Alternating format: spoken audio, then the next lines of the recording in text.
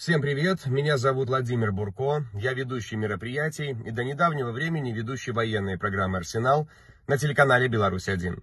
Начну сразу с главного. Я больше не ведущий этого телепроекта, ушел сам, не без приключений, но ушел.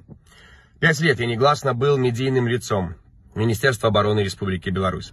Пять лет я вел программу, над созданием которой трудилась большая команда потрясающих людей и профессионалов, каждого из которых я обязательно обниму при встрече, и я уверен, они мне ответят взаимностью.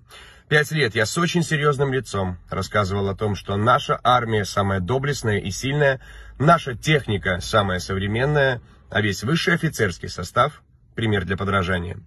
Пять лет я читал новости, которые добровольно-принудительно утром в воскресенье смотрел весь личный состав вооруженных сил.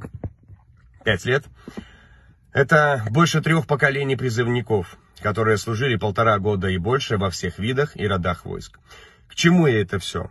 Я никогда бы, даже в самом страшном сне, не мог себе представить и не подумал бы, что солдаты и техника, о которых я рассказывал, могут быть применены против своего народа, против мирного населения, против женщин и, не дай бог, детей.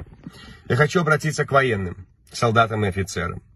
Я знаю, вы ждете приказа, и вы прекрасно понимаете, каким будет этот приказ, и вы осознаете, какими будут последствия для белорусов, которые просто хотели справедливости, которые просто хотели, чтобы их мнение было услышано. И в итоге они могут получить от вас пулю. Одумайтесь, пока не поздно. Донесите Совету Безопасности и своему руководству, что ваши методы и методы смежных структур являются варварскими и антигуманными. Среди верхушки Министерства обороны очень много разных людей. Мне кажется, как и во всех структурах, есть лизоблюды и карьеристы, но есть и настоящие офицеры, которые прошли войны. Офицеры, которые видели лицо смерти. И таких офицеров большинство. Я прошу вас принять верное решение.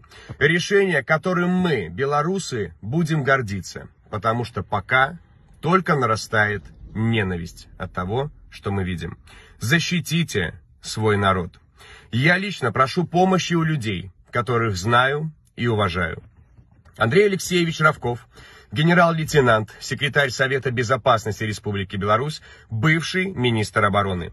Виктор Геннадьевич Хренин, генерал-майор, министр обороны Республики Беларусь. Олег Алексеевич Белоконев, генерал-майор, депутат Палаты представителей, бывший начальник Генерального штаба Вооруженных сил. И последнее. Никто Услышьте, никто не хочет войны. Все акции проходят и будут проходить мирно. Люди хотят справедливости. Люди просят их не обманывать. Люди просят свободы.